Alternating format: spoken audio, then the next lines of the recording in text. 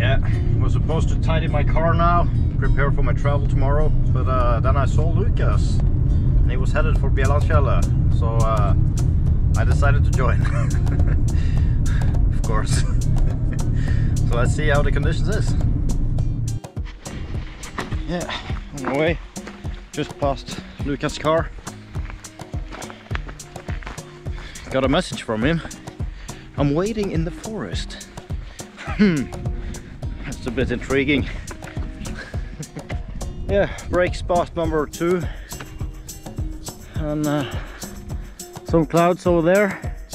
But but Lucas. no, it's, it's all blue sky. All blue sky. yeah, we don't have the sunshine, but we'll give it a go. It's really thermal, and in the, in the distance you can see the cumulus nimbus building. And even though it's fully clouded, it's really thermic.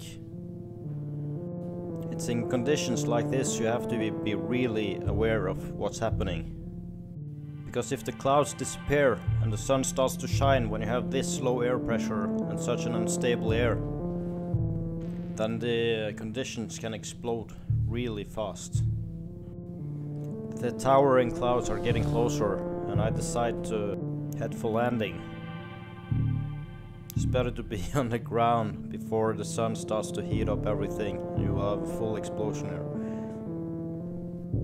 See a nimbus in the distance, so I decide to give uh, Lucas a call and just give him a heads up. Are you just taking a break and then take off again, huh? Yeah, just be careful. Uh, you see those big ones out towards Stavanger. So, uh, so, all right, I have to do grown-up stuff. So. all right, but uh, thanks, thanks for the flight.